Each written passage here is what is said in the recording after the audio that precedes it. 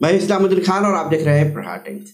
शिंदे गुट के विधायक चंद्रकांत पाटिल की गाड़ी को, उन्हीं की ही सुरक्षा में लगे हुए सुरक्षा रक्षक की गाड़ी ने पीछे से ज़बरदस्त टक्कर मार दी है, जिसमें दो लोग घायल हो गए हैं और बताया जा रहा है कि जलगांव मुक्तई नगर के विधायक को भी मामूली चोट लगी है। मुक्तई नगर के शिंदे गुट के विधायक चंद्रकांत पाटिल कुड गाँव से मुक्तई नगर की तरफ़ वापस आ रहे थे और रास्ते में कुछ किसान विधायक का इंतज़ार कर रहे थे। किसानों को इंतज़ार करता देख विधायक चंद्रकांत पाटिल ने ड्राइवर को गाड़ी रोकने के लिए कहा और जैसे ही ड्राइवर ने गाड़ी रोकी तभी इन्हीं की सुरक्षा में लगी सुरक्षा रक्षक की गाड़ी ने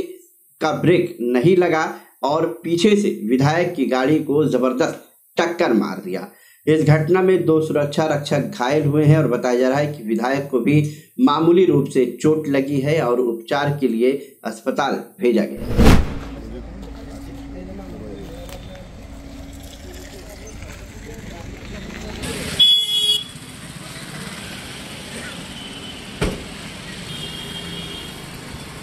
ये है ना